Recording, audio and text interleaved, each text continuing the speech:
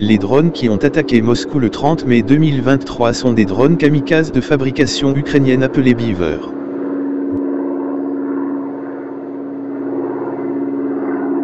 Bien que les défenses aériennes russes aient abattu la plupart d'entre eux, la simple arrivée de ce nombre de drones pour la deuxième fois à Moscou, qui se trouve à 500 km de la frontière, a de nombreuses indications. Huit d'entre eux ont attaqué le cœur de la Russie. Le gouvernement ukrainien a nié toute implication dans l'attaque, ce qui pourrait signifier que des groupes privés ukrainiens pourraient être à l'origine de l'opération.